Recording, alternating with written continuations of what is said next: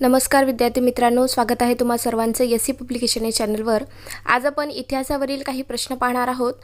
चला तर मग मित्रांनो वेळ न घालवता व्हिडिओला सुरुवात करूयात. आजचा पहिला प्रश्न आहे कोणत्या कायद्याला गव्हर्नमेंट ऑफ इंडिया ॲक्ट असे म्हणतात? तर असा कोणता कायदा आहे की त्याला गव्हर्नमेंट ऑफ इंडिया ॲक्ट असं म्हटलं जातं? मित्रांनो तुम्हाला आन्सर माहीत असेल तर पटापट उत्तरं देण्याचा प्रयत्न करा. तर काय असेल मग आन्सर? तर मोंटफोर्ड सुधारणा कायदा तर मित्रांनो गव्हर्नमेंट ऑफ इंडिया ॲक्ट या कायद्याला मोंटफोर्ड सुधारणा कायदा असं म्हटलं जातं. आपला पुढचा प्रश्न आहे दुहेरी शासन व्यवस्था बॉर्न हेस्टिक यांनी कोणत्या वर्षी बंद केली? तर दुहेरी शासन व्यवस्था जी आहे तर ही कोणी बंद केलेली आहे? वॉर्न हेस्टिकनी बंद केली तर ती कुठल्या वर्षी बंद केली आहे? असा प्रश्न विचारण्यात आलेला आहे. तर सतराशे बहात्तरला बंद केलेली आहे. नेक्स्ट क्वेश्चन पाहूयात. भारतामध्ये विस्तारवादी धोरण राबवणारा प्रथम गव्हर्नर जनरल कोण होता? तर कोण होता? भारतामध्ये विस्तारवादी धोरण राबवणारा प्रथम गव्हर्नर जनरल कोण होता? मित्रांनो तुम्हाला माहिती आहे का? तर कोण होता? लॉर्ड वेलस्ली होता. लक्षात ठेवा. पुढचा प्रश्न आहे अमृतसरचा तह कोणाच्या काळात झाला? तर याचे आन्सर तर सगळ्यांना आलेच पाहिजे मित्रांनो. अमृतसरचा तह कोणाच्या काळात झालेला आहे? तर लॉर्ड मिंटो यांच्या काळामध्ये झालेला आहे अमृतसरचा तह. क्रिप्स मिशन अयशस्वी झाल्यानंतर कोणत्या आंदोलनाची सुरुवात झाली? तर क्रिप्स मिशन अयशस्वी झाल्यानंतर कोणत्या आंदोलनाला सुरुवात करण्यात आली होती? तर भारत छोडो आंदोलनाला सुरुवात करण्यात आलेली आहे. पुढचा प्रश्न आगरकर हे पंडिता रमाबाई यांच्या कोणत्या संस्थेचे शुभचिंतक होते? मित्रांनो तुम्हाला माहिती आहे का पंडिता रमाबाई यांनी कोणत्या संस्थेची स्थापना केलेली आहे? तर शारदा सदनचीच त्यांनी स्थापना केलेली आहे. तर आगरकर जे आहे तर ते पंडिता रमाबाई यांच्या संस्थेचे काय होते? शुभचिंतक होते. लक्षात ठेवा. एकोणीसशे सतरा व एकोणीसशे चौतीसच्या दरम्यान महात्मा गांधी मुंबईत कुठे राहत असत? तर एकोणीसशे सतरा ते एकोणीसशे चौतीसच्या दरम्यानमध्ये महात्मा गांधीजी मणिभवनला राहत होते मुंबईला.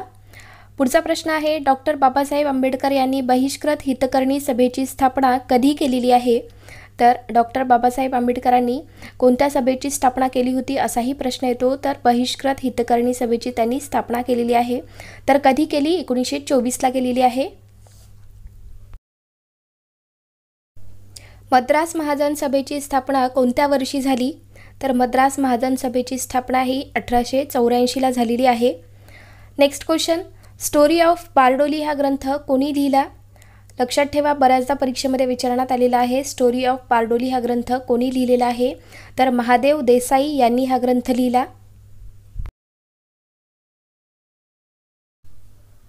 एकोणीसशे एकवीस साली महात्मा गांधीजींनी वर्धा येथे कोणते आश्रम स्थापन केलेले आहे?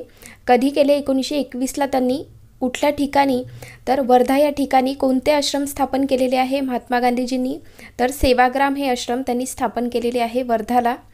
पुढचा प्रश्न आहे सरहद गांधी कोणाला म्हणतात? तर मित्रांनो सरहद गांधी कोणाला म्हटलं जातं माहिती आहे का पहा?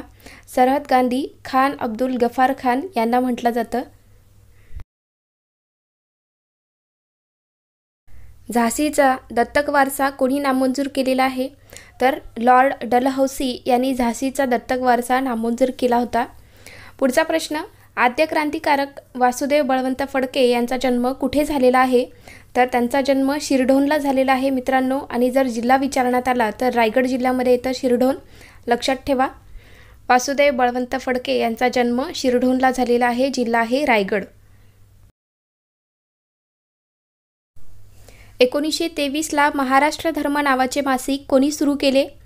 तर कधी केलेले आहे? एकोणीसशे तेवीसला महाराष्ट्र धर्म या नावाचे मासिक कोणी सुरू केलेले आहे? तर विनोबा भावे यांनी हे मासिक सुरू केले होते. पुढचा प्रश्न गदर हे पत्र कोणी सुरू केले? तर गदर हे पत्र लाला रधयाळ यांनी सुरू केले होते. मित्रांनो तुम्ही चॅनलवर नवीन आहात अजून चॅनलला सबस्क्राईब करून घेतलं नसेल तर सबस्क्राईब करून घ्या आणि व्हिडिओला लाईक करा आणि एकदा चॅनलला नक्की भेट द्या. तिथे बरेचसे व्हिडिओ आहेत जे की तुमच्या परीक्षेसाठी तुम्हाला उपयोगी पडणारे आहेत. तर नक्की एकदा चॅनलला भेट द्या आणि व्हिडिओला लाईक करून घ्या. पहिली विदेशी कापडाची होळी कोणी केली? तर पहिली विदेशी कपड्याची होळी कोणी केलेली आहे? तर विदा सावरकर यांनी केली. पुढचा प्रश्न कामगार किसान पक्षाची स्थापना कोणी केली? कामगार किसान पक्षाची स्थापना कोणी केलेली आहे? तर दत्ता देशमुख यांनी कामगार किसान पक्षाची स्थापना केली होती.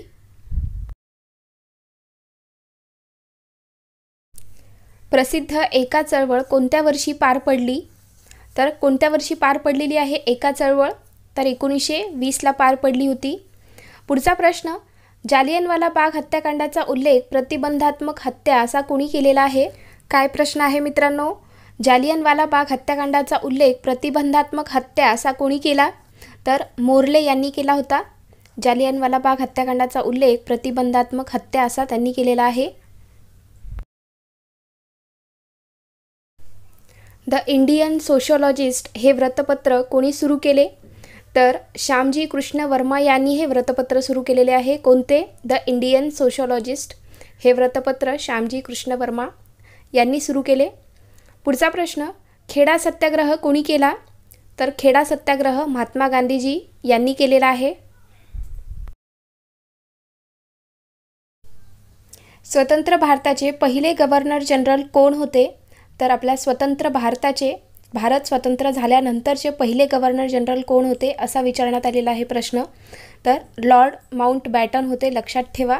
मित्रांनो बऱ्याचदा कन्फ्यूज होतात हे प्रश्न. त्यासाठीच आपण एक व्हिडिओ बनवलेला आहे भारतातील सर्वात प्रथम आणि शेवटचे. तर यावरती एक आपण व्हिडिओ बनवलेला आहे. तुम्ही तो व्हिडिओ पाहिला नसेल तर पाहून घ्या. तुमचे सगळे डाऊट क्लिअर होऊन जातील. नक्की पहा तो व्हिडिओ. आपला पुढचा प्रश्न आहे बंगालची फाळणी कधी अंमलात आली? तर सोळा ऑगस्ट एकोणीसशे पाचला अंमलात आलेली आहे बंगालची फाळणी. चंपारण्य सत्याग्रह कधी झाला? तर एकोणीसशे सतराला झालेला आहे चंपारण्य सत्याग्रह. बऱ्याचदा परीक्षेमध्ये हा प्रश्न विचारण्यात येतो स्टार मार्क करून ठेवा. पुढचा प्रश्न आहे अहमदाबाद गिरणी सत्याग्रह कधी झाला?